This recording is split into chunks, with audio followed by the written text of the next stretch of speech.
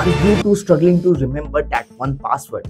Well, I have an easy way, or I'll say the quickest way to remember or to recover, or simply to view your password without any hassle. Hello guys, welcome back to our channel Himanshu here. You're watching Get Assist and in this video I'll guide you the way how you can recover or simply view your passwords without any hassle if you have forgotten them.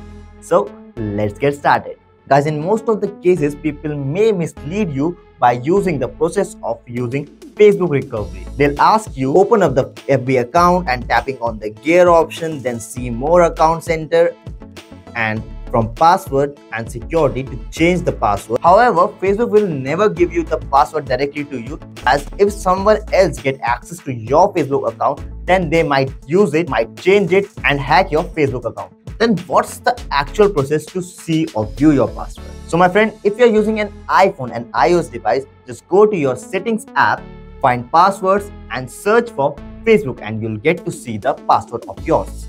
And if you're using an Android phone, then you can get to see it. Just open up your Google Chrome and from the three dots, go to your settings. Here, you'll find Google Password Manager. Tap on Facebook icon. Just, enter the Face ID password pattern and here it is. You'll find your email address and password which you can even copy from here and here it is you can view it and you can recover the same thing by using your Firefox browser or your Microsoft Edge browser and any other browser. And that's all in this video. Find this video useful and informative, just give it a like and comment down your thoughts and if any query for the next video, I'll definitely make a one on that too. Just keep watching, get assist, I'll meet you in the next one.